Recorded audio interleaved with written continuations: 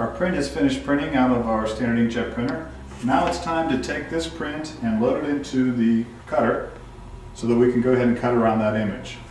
Now if you're doing this with scissors, you would have to use a pair of scissors to get around every intricate detail to remove any excess white. That's why this is such a time saver for you.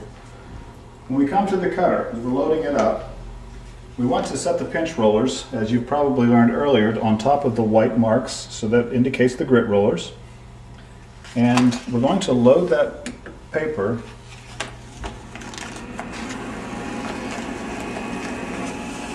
such that the rollers themselves are on the near the edge of the paper.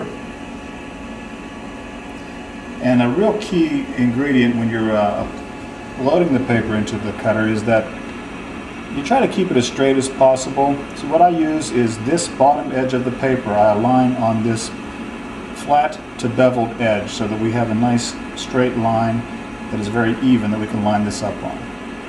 I'm gonna, I've got it lined up. I will close the pinch pinch rollers by dropping the lever down. On the control, you will see that it asks for a select sheet or roll. Roll is selected. In this case, it's just fine to choose roll, or you can use sheet, but roll is fine because the optic eye is actually going to supersede the size of the page. It's going to search for those uh, crop marks. I simply hit enter. Now, as with any product, you're going to want to make sure that your uh, blade is set the proper depth. And at this point, I would typically just go ahead and do my test cut as you would on any vinyl material on a blank piece of the page so that you don't interrupt your design. I've already set this one and it is good to go. And you need just a very minimal amount of blade. The only other step that we would do prior to uh, starting this cut is advance this material forward just enough that these black dots, these two registration marks are on top of the cutting strip. This is just going to save some time as it begins to search for the uh, crop marks. Cutter is set up. The image is in the uh, cutter now. Now we're moving to back to the software. I will simply choose cutting.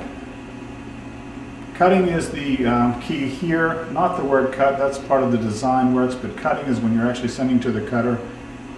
Looks like a print screen, we're sending cut all. Only thing that's going to go to this uh, particular uh, image is going to be the vector art line. So here we go. Say OK. At this point, the optic eye is searching for the crop marks. It's found its first registration mark now. It'll move to the third one the second one, and then the third to follow.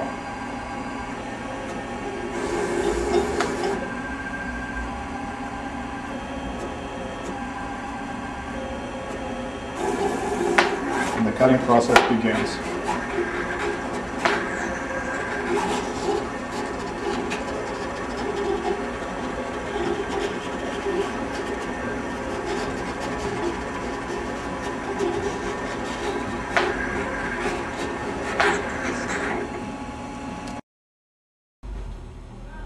It's completed cutting. Now we just simply open up the uh, pinch rollers by lifting the lever, take out the print, and now we're going to weed away the excess white.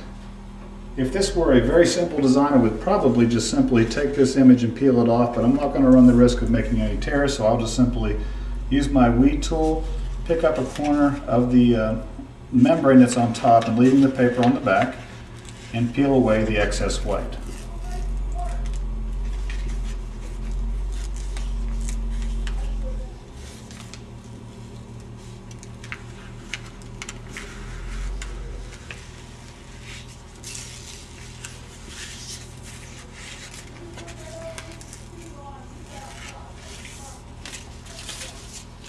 White is peeled away. At this point, um, when we're ready to apply to a shirt, all I need to do is just start it and peel it off with the backing paper.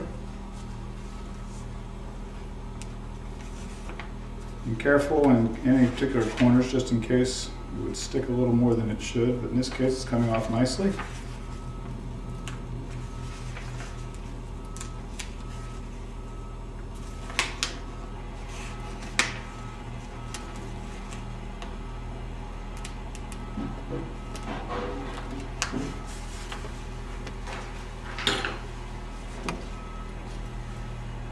Now it's ready to apply to a shirt. Typically this shirt would just go on the heat press.